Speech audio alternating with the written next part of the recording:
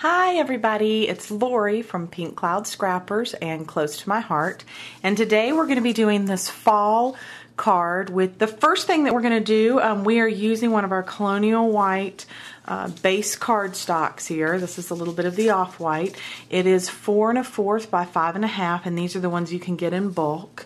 Um, and then we're also using the main paper that we're just cut. And I've gone ahead and cut this. Your measurement on this one is five and a half by four and a fourth, just like the card. Um, but this is from the Twitterpated line. And I think the Twitterpated line is really, really cute. It's in the new catalog from Close to My Heart, the uh, fall winter for 2009. Anyhow, okay, so here we go. First thing that we're going to do is we're actually going to roll back and I used my Herma glue there so that if I got a little too much down I can just rub it right off. It's the removable kind. Um, but the first thing we're going to do is we're going to roll back a little section, just kind of get it rolling and you'll go there to give that roll on our card. And once you get it, you'll be good to go. And that's it. And then you can kind of come in if you want to um, and, and add your glue. For this, I'm actually going to add a little bit of permanent glue. Um, helps if you do it the right way, uh, but that way it'll it'll stay down a little bit better. Um, but we're just going to roll that right up onto itself right like that. And it's going to give us this nice little little roll here, which is a, a little design feature. Um, the next thing that we're going to do actually is I'm going to put just a little tiny snippet on both ends of our card. And then what I'm going to do is I'm going to take some of our hemp and cut off a little section of that. And then I'm going to roll that through. And what we're doing is with those little um, little areas that I cut, we're basically just making a little well for the little twill or hemp to go right into because I don't want it to roll on this. With it being a um, a round sort it would tend to roll to the back basically. So we're wanting to do that and then you can just tie it right off. And that's got that little design feature. You can do a bow. I did that on the first card or you can just do a little knot. Whichever you prefer. I actually kind of like the knot better all right, so now we're going to get right into the stamping here. And the set, I'm actually going to use two sets today, but the first set that I'm going to use is called Many Thanks. Um, and I will be putting the order numbers on the, uh, sorry, I'm not holding in the screen there. I will be putting the order numbers um, in on the, the screen for you to see. Someone. Oh, the very first thing I'm going to do is I'm going to do this cute little stamp that's down here in the corner. I'm just going to put this, I'm actually probably using a block that's a little bit too big to be honest, but that's okay, life will go on. And we are using Sweet Leaf, which is a staple of colors. I'll be honest, I use Sweet Leaf almost in everything it seems. And Chocolate is the other one that we're going to be using. And I'm just going to go ahead and punch that because we're going to pick it up. And so we're going to stamp, stamp, twist, twist, stamp, stamp, and then go in with your little sponge dauber, pick up a little bit of your color, and what we're going to come in and do is just ink our edges of the stamp.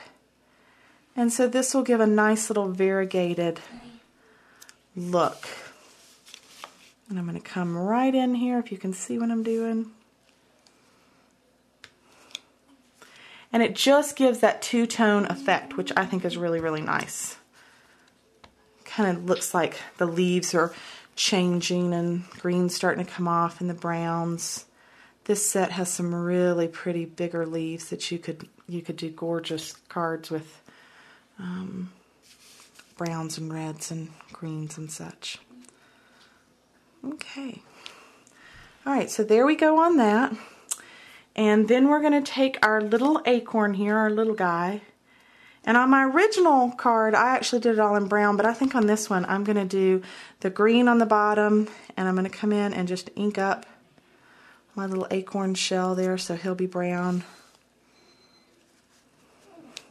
And then he's two-toned also, which is nice. Okay, so now I'm going to put that to the side for just a second, and we're going to get to work on our um, middle piece. And we're going to use the border that is also from Many Thanks. We're going to use this one right here. Ink up here. And then we're going to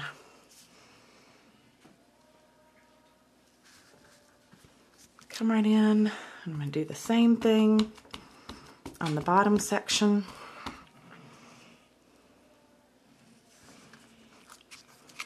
Okay, just like that.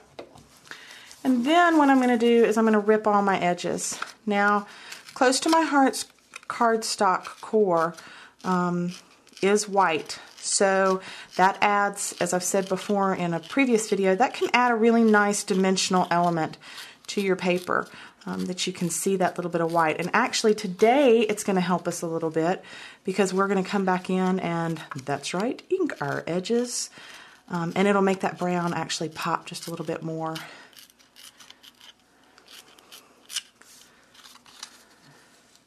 So I really appreciate all the feedback. I've gotten several suggestions um, on my videos. I'm not going to get that last little piece there, it doesn't look like. But I am, by golly.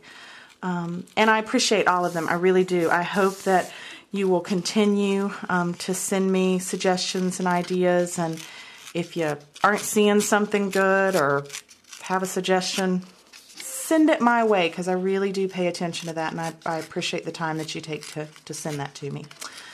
So, okay, now we've got that all done. We're going to come back. There again, we're going to punch, get that ink on the inside. Take our sponge dauber, load it up, and just come in and kind of ink that little edge there. You can see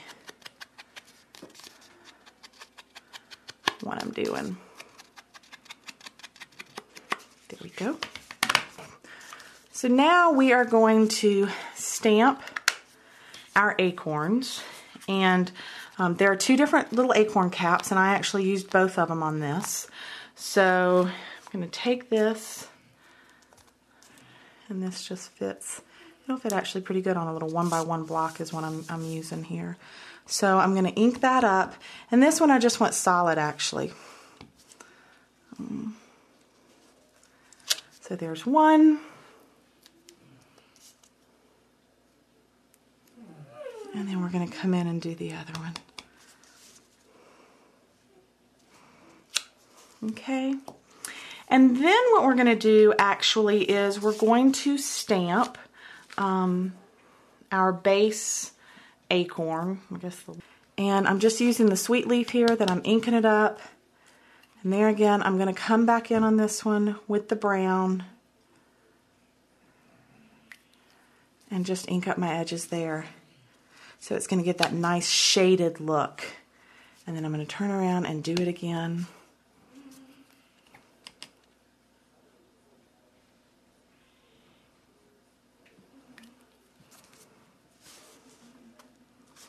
And do that. Okay, and I did this just on a little scrap piece of sweet leaf. This is the color of cardstock that I'm using on this. It's the sweet leaf, and I'm going to use it.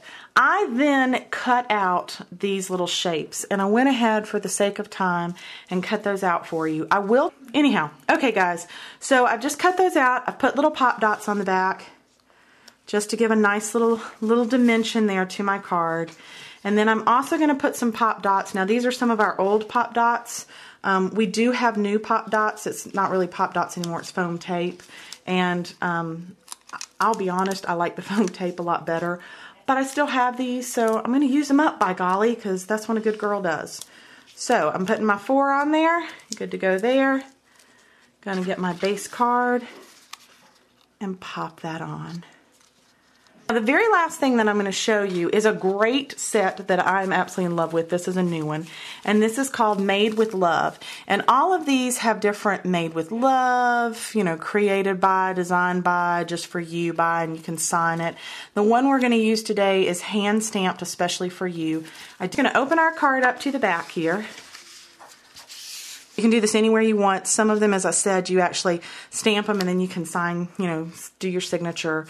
So then that's really cute. So when you send it to somebody, they don't think, hey, you just went to a craft show and bought this card. You actually took the time to make it for them. So that's pretty nice. So thanks so much for watching. I appreciate it. Look forward to seeing you next time and have a great week.